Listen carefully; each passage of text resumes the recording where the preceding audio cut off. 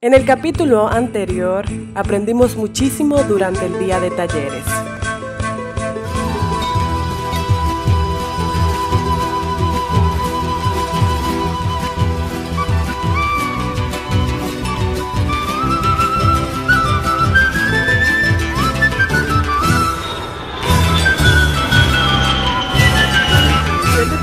¿cuál fue tu servicio?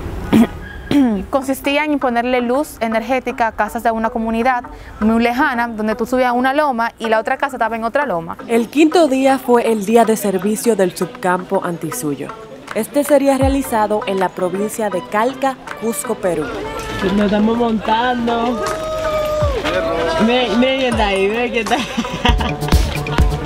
Si se preguntan por qué Lisandro aparece más que los demás, es porque él y yo estábamos en el mismo subcampo.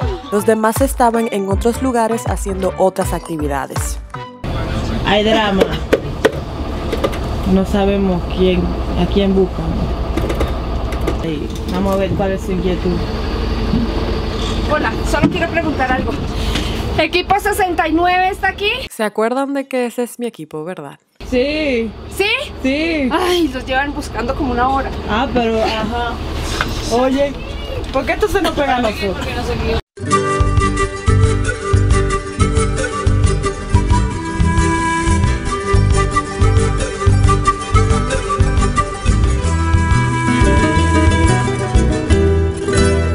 La comunidad nos recibió con flores y abrazos. Muchas gracias. Músico, ¿dónde está? Para, para que te mami. Gracias. Luego hicimos un gran círculo para realizar la bienvenida. Bienvenidos. ¿Dónde están los jóvenes scouts? Muy bien. Muchas gracias. Esto es la comunidad de Llancho.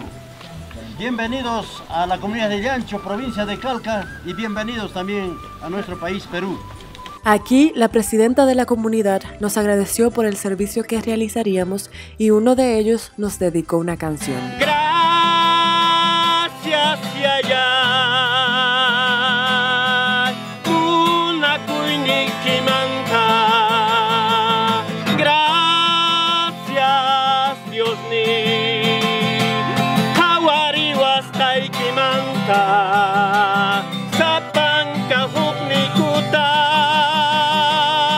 Luego de esa maravillosa bienvenida, nos dividimos en grupos de seis y fuimos asignados a uno de los habitantes de la comunidad. Vamos para la casa de ese señor. ¿Ya saben qué es lo que tenemos que hacer?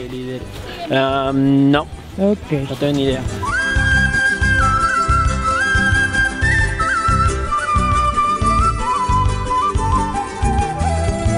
Fuimos a ayudarlos a construir una de sus casitas que querían nivelar. Y por fin llegamos a nuestro primer destino. A ver, no, no digo su nombre. ¿Cómo se llama?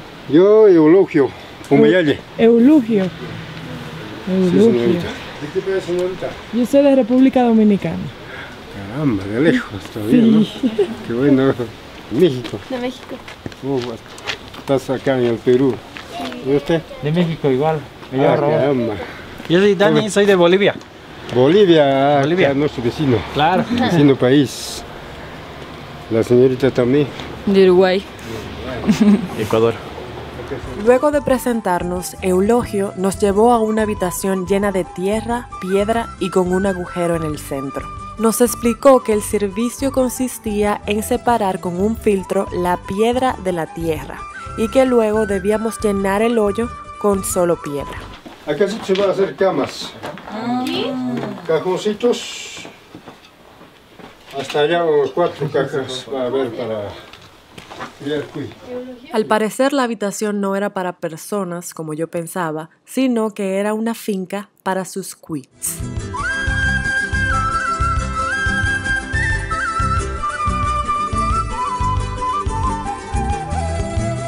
Los quits son unos animalitos muy parecidos a los hamsters y en Perú los crían como si fueran conejos. no le doy así. A ver, a ver. En Buenos Aires es una mascota. Es una mascota, exactamente. Entonces aquí se lo comen. Por eso la diferencia de la alimentación. Acá se le da pasto, alfalfa. Sí, solamente. Solamente. En Buenos Aires se les da, eh, aparte de el pasto, se le puede también dar eh, un alimento que se compra directamente en los almacenes, pero no se comen como acá. Eulogio también nos pidió cavar un camino, así que tres nos quedamos cavando y tres se quedaron adentro dividiendo tierra. Decidimos que más tarde rotaríamos. ¿Cómo se dice eso? Cavar. Cavar. Ella. ¿Cavar en una montaña? Sí. ¿Y para ti cuál fue la importancia de ese servicio? Ayudar a la viejita. O sea, ella quería como coger la tierra que cavábamos para hacer adobo. Entonces, nada, fue muy importante porque la ayudamos. Cuando los mexicanos dicen, vamos a poner música para trabajar.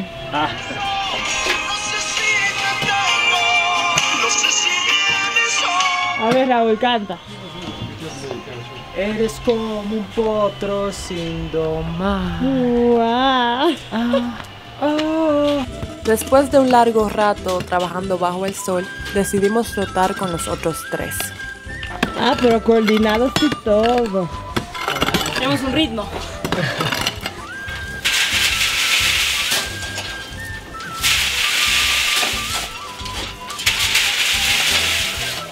Eulogio nos explicó que mezclaría la tierra limpia con cemento para el camino que habíamos cavado.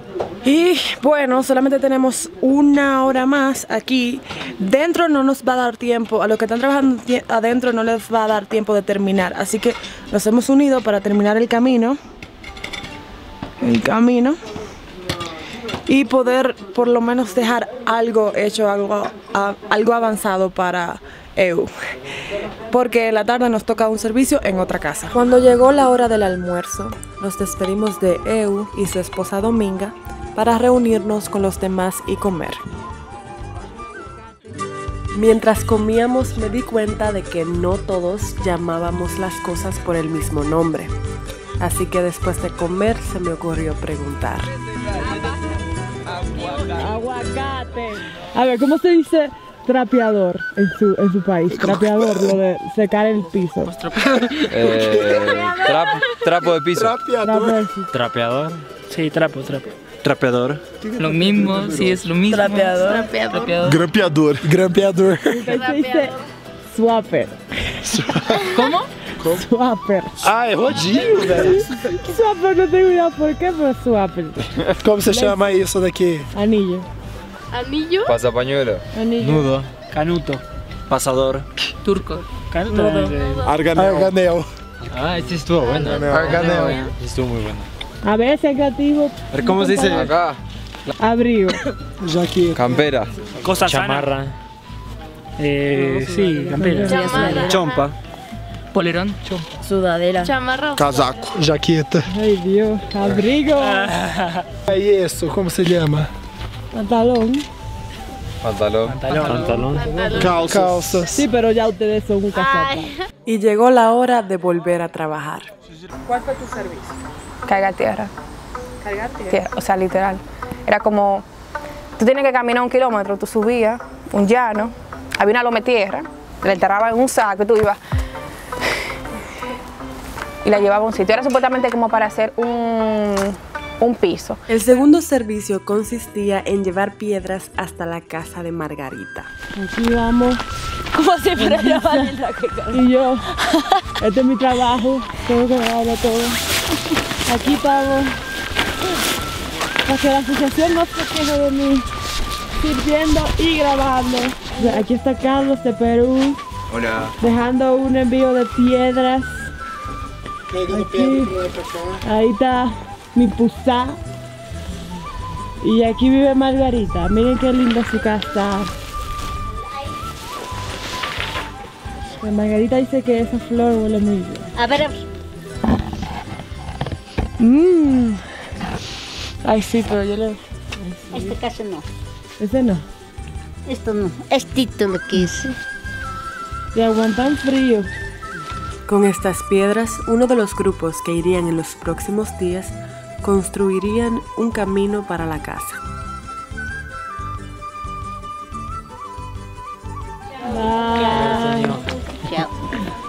Chao, chao, chao, chao, chao.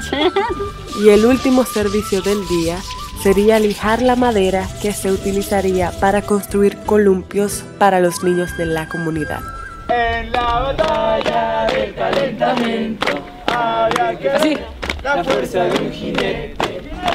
A la tabla, una mano, otra mano. En la batalla del calentamiento había que ver la fuerza de un jinete. Te rogamos, te rogamos, te suplicamos, te suplicamos, te imploramos, te imploramos Por una vaca. por una vaca, Una vaca grande y gorda. una vaca grande y gorda. Pues no nos dio una vaca, pero nos dio mucha salud. Y llegó la hora de partir. Una salida tan limpia como la que hicimos al llegar.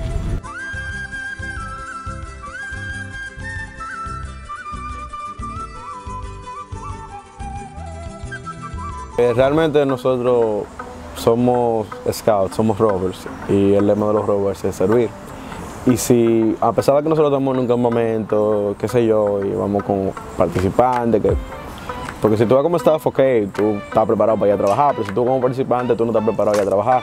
Pero independientemente de eso, somos rovers y se supone que nosotros tenemos que servir, ayudar a crear un mundo mejor, que son, eso es lo que dijo el fundador. Y como todas las noches, tuvimos nuestra pequeña reunión y luego nos fuimos a disfrutar de la fiesta. Todo bien aquí, todo bien, todo bien, todo bien. Yo no, yo ¿Qué te pasa? La barriga tengo una semana y tengo que ir facial también. Mira, tú no. lo que quieres no ir para la Las dos cosas, pero no me siento mal. No ¿Le digo, lo que yo tengo? ¿Eh? Yo no sé, pero quiero barajar. ¿Le digo lo que yo tengo?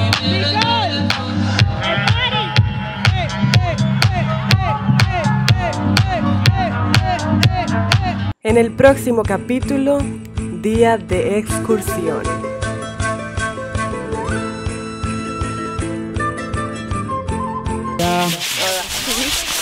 Por fin me están grabando. Para ver los próximos capítulos, suscríbete al canal de YouTube de Scouts Dominicanos y activa la campanita de notificación. Síguenos en nuestras redes sociales.